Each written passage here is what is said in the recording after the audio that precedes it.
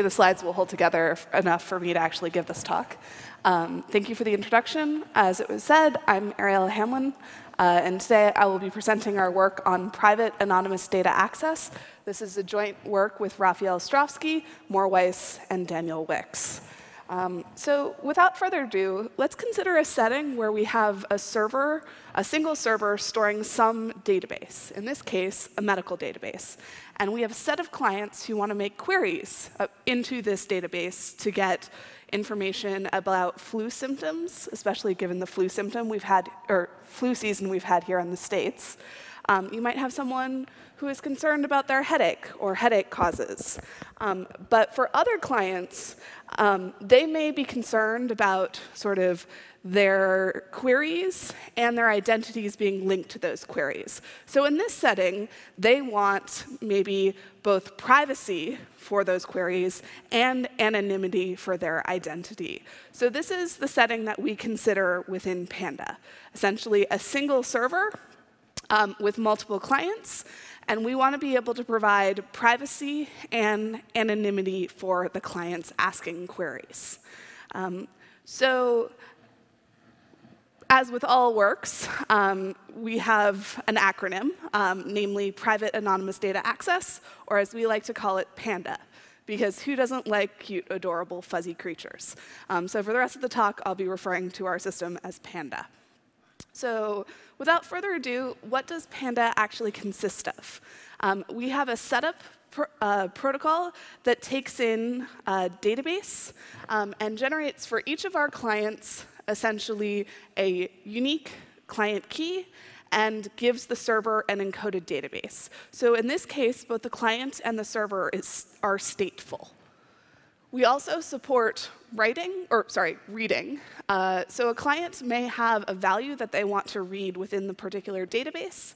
Using their client key, they interact with the server and get the value back at that particular database uh, location. We also do support writes in Panda, but in this talk I will be talking primarily about our read-only Panda scheme. Um, if you're interested in writes, um, we do present the sort of high-level work, but I would encourage you to refer to the paper or track me down after this session. So now that we sort of established the syntax, let's talk about what we want sort of in this setting, in this definition.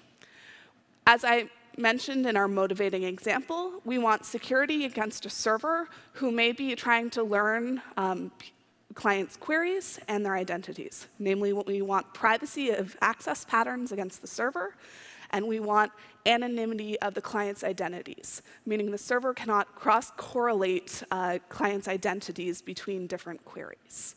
Um, we want this not only against a server who might be observing these actions and interactions with the client, but also with a server who is allowed to collude with some number of clients um, and gain access to both their sort of actions and their secret key. And we set at setup time an a priori bound on the number of clients that the server may collude with, and we call this number t as our collusion bound. We also want a single server uh, scheme, so not necessarily something that relies on multiple servers, um, especially not servers that don't collude. And finally, we want efficiency goals. Namely, we want the client and server read or write, if we're talking about it, complexity to be sublinear in this collusion threshold t, or sorry, in the number of clients, n, and the database size. Um, and we want it to be linear in the collusion threshold. So it's this combination of privacy and, and anonymity for, with bounded collusion um, and these certain efficiency goals that we call the PANDA setting. Um, so without further ado, this may sound fairly similar to some of the primitives that have come before me in this session, namely oblivious RAM and another uh, primitive called private information retrieval. So I want to spend the next part of the talk sort of comparing and contrasting the Panda setting um, and whether ORAM and PIR are things that actually work to solve our problem. Spoilers, they don't. Um, so I think uh, previous talk did an excellent job motivating and explaining ORAM. Um, so at a high level, we have our single server. Um, we have a single client um, who wants to make access or queries into a database that the server is storing while hiding their access patterns. Um, ORAM itself, um, there's a huge asterisk on this no up here, but is not inherently multi-client. There are schemes that attempt to support it, but most of the common schemes do not. Um, runtime is going to be polylog in the database size, and we have setup assumed and the server has state. Um, and we're able to build ORAM essentially from one-way functions. We also have a primitive called private information retrieval. We're talking here about the single server PIR constructions. Um, and in this, again, we have a single server and multiple clients who want to be able to make uh, queries and hide their sort of access patterns. Um, unlike ORAM, PIR is inherently multi-client. Namely, the client does not need a secret key to make a query. Um, so anyone can come along and, and sort of query and is not needed to be defined at setup time. Unfortunately, this requires linear server-side work for any read accesses.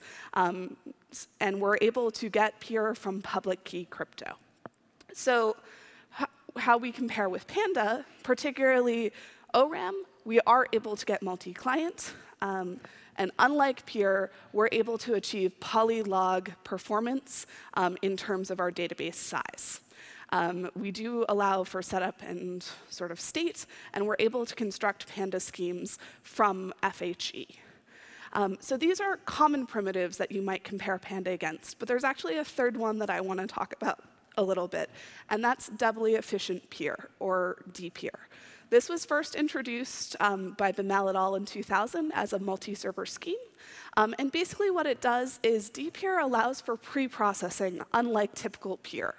And what you get as a trade-off there is that you can now achieve a polylog runtime for server access complexity during reads. Um, and essentially, what I want to compare against is the more recent work by Canetti et al. and Boyle et al. in 2017 that reduces the multi-server DPIR down to a single server, and namely their public key DPIR variant. Um, as with PIR, we have a single server, and um, sort of any person can come along and make queries against this eh, sort of database the server is storing. Um, we are, as I said, able to get multi-client, um, polylog runtime. Um, we allow for setup and state, or PIR with pre-processing, as it's also called. However, in order to achieve this, we require, or it requires, new coding assumptions and virtual black box obfuscation. So public key DPIR does, in fact, solve our Panda problem, but um, it does so with some fairly heavy assumptions or you know, heavy-duty tools. And we were wondering, is it possible to get a construction that relies on sort of less onerous assumptions? Um, and yes, because my talk isn't ending and I have 14 more minutes to talk at you guys. So without further ado, I want to go into our results. Um, so we're able to achieve a read-only Panda scheme um, relying only on FHE with T, our collusion bound, polylog L, our database size, client read complexity. We also support two variants of Panda that supports writes. We have a public writes Panda, where we essentially have a public database that everyone writes to. And we have a secret writes Panda, where everyone essentially has their own personal database. Um, I want to spend most of the rest of the talk talking about how we construct our read-only Panda scheme. So without further ado, um, our main starting idea here is the original multi-server DPIR scheme introduced by Beimel. Um, and in this scheme, we have multiple servers. And in fact, we have K servers, um, and sort of they're all involved.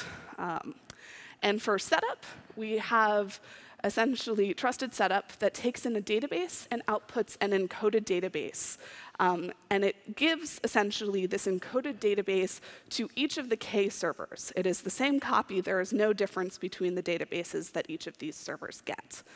When someone wants to come along and make a query, what they do is essentially uh, send out K unique indices into this encoded database for code word symbols that they want to read.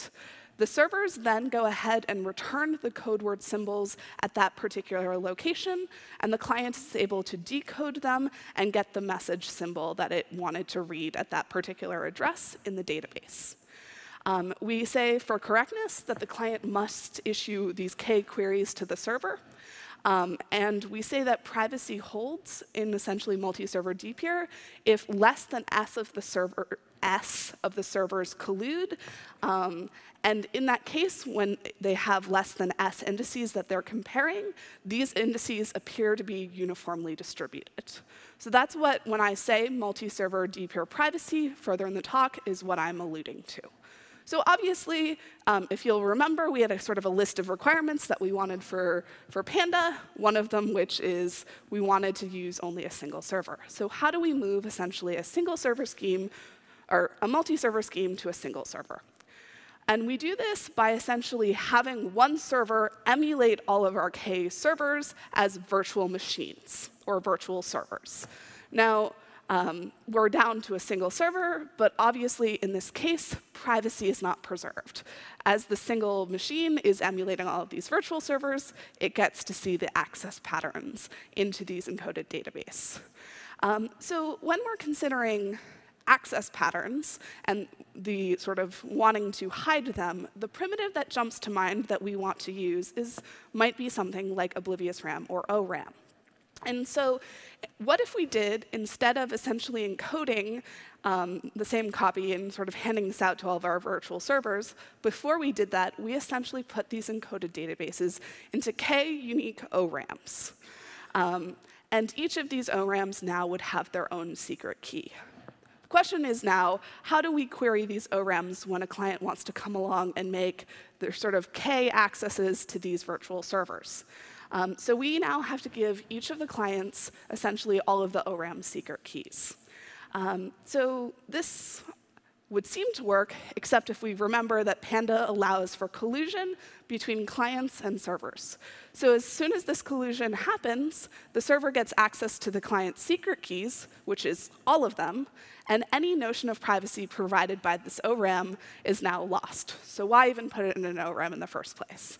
So we need to now essentially have that each client has some unique, unique secret state um, that is not shared with all of the other clients. So when collusion happens, we still have some notion of secrecy. Um, so what we do here is to introduce the idea of committees. Um, so what instead of getting all of the secret keys for the uh, sort of ORAMs, instead clients get the keys for virtual servers on their assigned committee. Um, and this is done at setup, and they essentially get assigned some subset of the servers, um, K of them essentially, that they can now make their queries to. So in this case, in this example, client one gets access to the first and kth virtual server. Um, Client number two is going to be given access to uh, the first and the second virtual server, so on and so forth. As you'll note, um, we actually have to use more than k virtual servers in this case because we do want um, some additional servers so we don't have um, sort of entire overlap on all of our virtual committees because we want those committees to be unique for each client. So what happens now when collusion happens? Um, the server only gets the keys for the committee of the colluding clients, which means that it only gets to see some accesses in plain text, only for those um, where there is an overlap between your committee and a colluding client's committee. So essentially, we can say that the server, because the overlap between your committee and the colluding client committees is going to be less than S, uh, based on how these committees are generated, we can say that the multi-server DPIR privacy still holds because the server only sees less than S accesses essentially in the plain text. The rest of the access patterns are now going to be hidden by ORAM. So privacy holds. Um, so we have single server, we have privacy, but if we remember in Panda, we also want anonymity for clients. But now, clients essentially have some unique information. Namely, they have a unique committee associated with them. So servers can tell uh, sort of clients apart based on which virtual servers they access as they have been assigned to their committee. So we lose anonymity. So how can we fix this? One could say, well, when we query the things on our committee, we can simulate sort of random accesses into the ORAMs that are not on our committee, and the server, excuse me, won't be able to tell the difference. However, this comes down to the fundamental problem. We don't actually know how to simulate these accesses into the ORAM because you remember, we don't actually have the secret keys for those ORAMs. And what's even worse, our adversary, the server, might even, in fact, have the secret keys if it's colluding with a client that has that server on its committee. so essentially what we need is this ability to make smart dummy accesses, the ability to simulate a random access without the secret key. Um, and this seems a property that most ORAMs outside of trivial ones don't necessarily have. So instead, what we do is we try and get the next best thing. We get ORAM-like behavior up to a certain number of queries. And what we do um, to achieve this is introduce the idea of, instead of dropping our encoded database into an ORAM, we instead simply permute it um, based on a pseudo-random permutation, um, essentially. So instead of each encoded database in these virtual servers being dropped in an ORAM, instead it is uniquely permuted as defined by a permutation key, and these keys are given to the clients in lieu of the ORAM keys. Um, so when we want to make a query, uh, a client simply gets the index that it wants to query sort of in the unpermuted database. It permutes it according to its permutation key and asks those queries to things, uh, to the virtual servers on its committee. For things that are not on its committee, it simply asks for a random index in the encoded database because now it can simulate a totally random access and the server, even if it has the key, can't tell the difference between that or sort of an actual legitimate access. Um, so for things that are not on my committee, I have sort of uniform queries by definition. I'm just asking things randomly for things that are on my committee, but the server doesn't have uh, sort of access to it, um, we say that for a certain number of bounded number of queries, excuse me, that essentially it achieves an ORAM-like hiding of access patterns thanks to a lemma from Canetti et al.'s uh, 2017 paper. And for things that are on my committee and that the server does have uh, the key for, it is going to appear to be random based on the multi-server DPIR privacy. So we're kind of covered in all three of our cases. So we're able to achieve essentially up to a certain number of queries. And how do we move beyond this bound? And this is where our reliance on FHE comes in. Essentially, for every B reads, where B is our bound, um, the server is capable of regenerating the permutations on its own because instead of having them sort of specified by a sort of a pseudo-random permutation, we have them defined by a PRF. And this PRF key is essentially encrypted under FHE, FHE allowing the server to essentially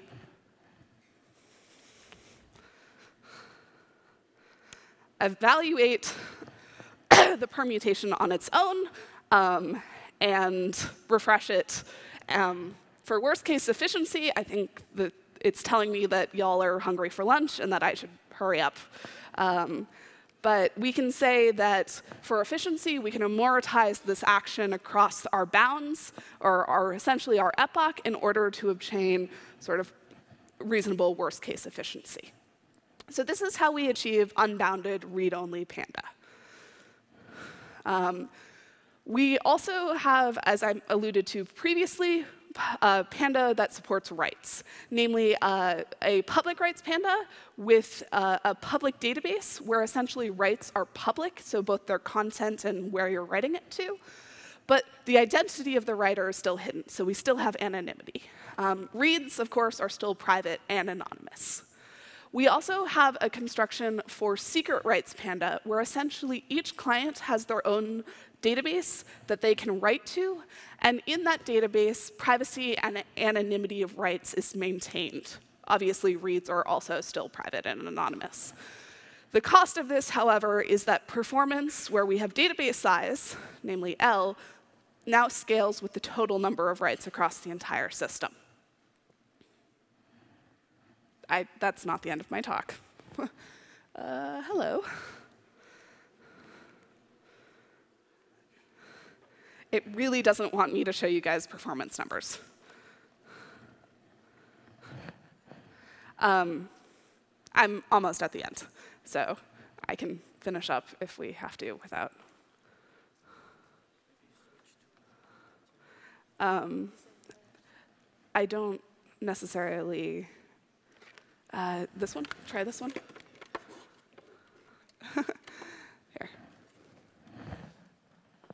Enjoy beautiful seals. This was taken at Crypto uh, on, in uh, Santa Barbara, so. Um, uh, anyhow, I'll, while they're fighting with that, I'll simply sort of finish off. Um, so we're able to achieve public writes Panda with the same read complexity um, and secret writes Panda with the same read complexity as read-only Panda. Um, all you have to do is hit, I think, just start, and it should, it should work. Yeah. nope. all right. This is going to be actually my second to last slide. So if you guys will bear with me. Um, so client write complexity is simply going to be um, O of log uh, L, where L is database size. For client write complexity, secret write Panda achieves the same sort of uh, complexity as reads, and server write complexity has a reliance on both the uh, number of colluding clients and our database size. And here epsilon is for any epsilon greater than zero. So that's what we achieve for Panda with writes. In summary, we're able to achieve a read-only Panda scheme um, from FHE where clients and server uh, complexity is polylog in database size and linear in the collusion bounds. We support two forms of writes, secret and public.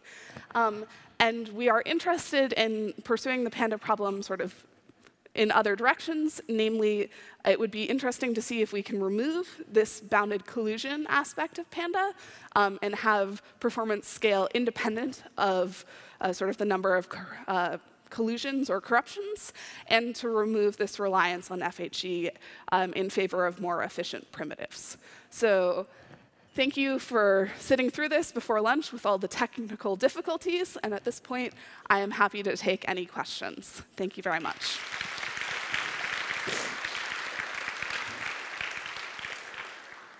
Any questions about Panda? Yes, they're adorable.